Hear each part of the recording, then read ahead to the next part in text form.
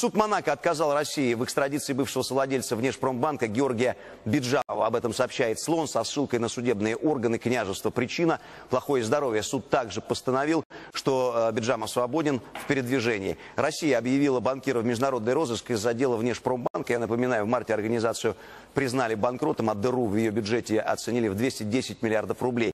В банке сгорели деньги от Транснефти, Олимпийского комитета России, Русской православной церкви. А еще президента э, Олимпийского комитета России Александра Жукова, жены министра обороны э, Сергея Шойгу, э, супруги Дмитрия Казака и нескольких депутатов Государственной Думы. С Жуковым Биджамову связывают и рабочие отношения. Банкир возглавлял Федерацию бобслея России и даже получил награду за подготовку к играм в Сочи из рук э, президента.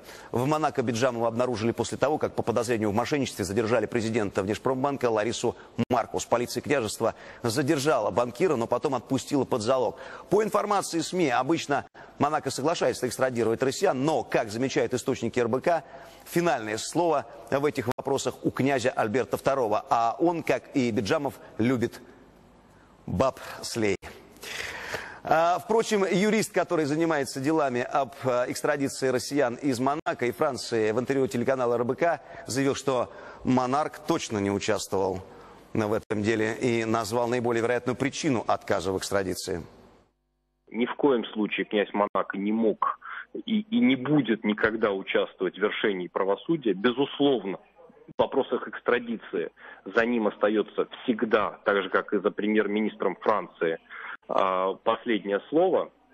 Но это последнее слово он может использовать или не использовать только по завершению всех судебных процессов на всех уровнях практика показывает, и наш опыт работы показывает достаточно низкий интеллектуальный уровень представителей Генеральной прокуратуры Российской Федерации при предоставлении документов во французские суды. Говоря французский, я предполагаю, подразумеваю, что французское и монахское правосудие, они очень близки и де-факто э, взаимосвязаны.